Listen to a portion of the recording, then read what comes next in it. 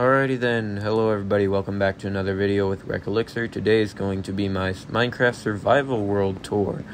So first of all, there's this room right here, and then we go out, and we'll go upstairs, and yeah, this is what my house looks like right now. I'll show you in a bit later. There's my storage, there's, uh, don't mind that, that's just Ronald and his family.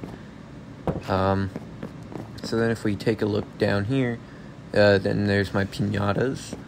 Um, and let's go back down to my storage area. And this is a pretty cool room, I'd say. And each one of these chests, every single double chest is full of wooden shovels. All of them. Each and every one of those full of wooden shovels.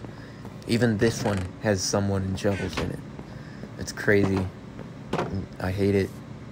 So, and then let's walk down here there's the barn. I'll show you that in a second. But this is my house. I created with no tutorials at all.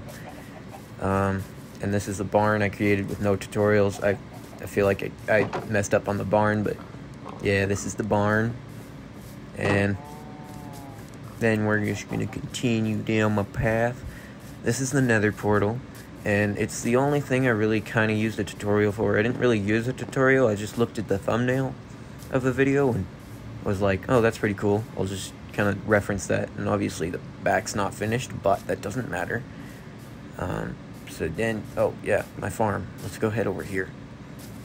Um, so my farm, yeah, there's a bunch of potatoes. There's like one chunk of crops for each thing, except for pumpkins and watermelons, and then there's a couple chunks for watermelons. Obviously, watermelons are awesome and they're good for trading with villagers. But anyway, here's my brothel. Uh, again, no tutorials. The only thing that's used a tutorial is my nether portal. Um, but, so yeah, everything else. Uh, this is pretty empty at the moment, but I really like the way the lanterns hang, and yeah.